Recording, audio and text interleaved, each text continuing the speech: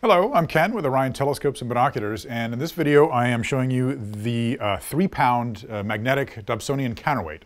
We have a one pound counterweight for smaller Dobs or smaller load differences between the front and the back of the Dob, but uh, we came out with a three pound in case you've got really heavy equipment or you're using a much bigger Dob and just need more uh, counterweighting on the back side.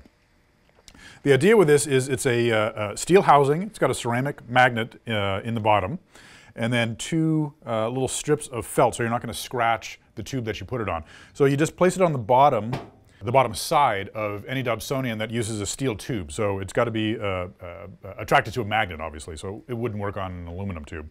And then you can slide it up and down depending on how much you're putting up top. Uh, obviously that's too much right now because it's back heavy.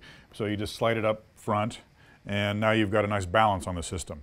I don't think you'd probably need to balance much here. I've got a standard finder and a small eyepiece. But there's always a time where you're going to be putting a very heavy two inch eyepiece on, uh, maybe a heavy two inch eyepiece plus a um, coma corrector or some other large finder scope combination.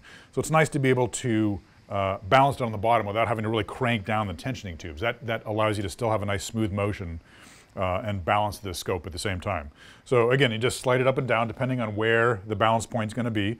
And you can add uh, multiple counterweights. If you needed more, you can add a second three pound counterweight. You can add one of the one pound counterweights, whatever combination works.